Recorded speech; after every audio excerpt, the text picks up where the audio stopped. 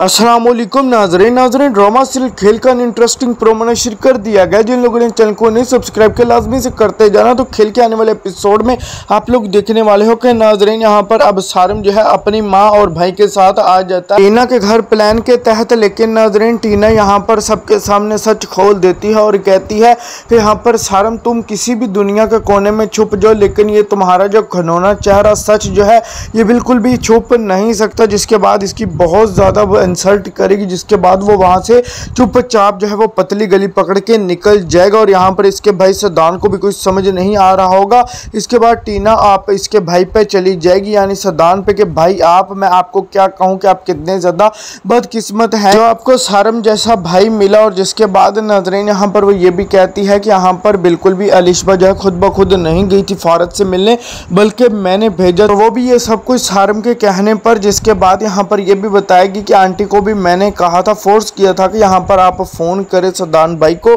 जिसकी वजह से यहाँ पर आपको इन्होंने फ़ोन किया और ये सब कुछ शक पड़ा और यहाँ पर ये तो निकालना ही चाहता था आपकी ज़िंदगी से अलिशबा को, जिसके बाद नाजरीन यहाँ पर ये भी बहुत ही ज़्यादा जो है नाजरीन परेशान हो जाएगा और टीना सब कुछ सच बता के हम सॉरी कर लेगी और इसके साथ साथ नाजरीन यहाँ पर सदान की माँ भी बहुत ज़्यादा परेशान होगी, जिसके बाद ये जब लोग घर जाएँगे तो नाजरीन यहाँ पर सदान को बहुत ज़्यादा समझा रही होगी, इसकी माँ के यहाँ पर जो कुछ होना था। हो चुका जो गलती होनी थी, वो हो गई। तो यहाँ पर अब हम क्या कर सकते हैं, जिसके बाद नजरीन आगे से सदान कहता है कि, नहीं मम्मा, ये कोई भी गलती नहीं, बल्कि बहुत ही बड़ा गुनाह है। एक मासूम जो है, इतना ज़्यादा हमसे प्यार करता रहा और यहाँ पर हमने उसके प्यार को अपने पाँव थले रोन दिया और यहाँ पर जो है, वो बिल्कुल भी हमें जो है, हमारा रब माफ़ नहीं करेगा। ना तो इस दुनिया में माफ़ करेगा और ना ही यहाँ पर हमें नेक्स्ट जहान में माफ़ करेगा और नजरीन, यहाँ पर ये काफ़ी ज़्यादा इमोशनल होता है। तो नाजरीन, अब आप लोगों को क्या लगता है कि सदान जो है वो क्या हाल करने वाला है यहाँ पर अपने भाई का?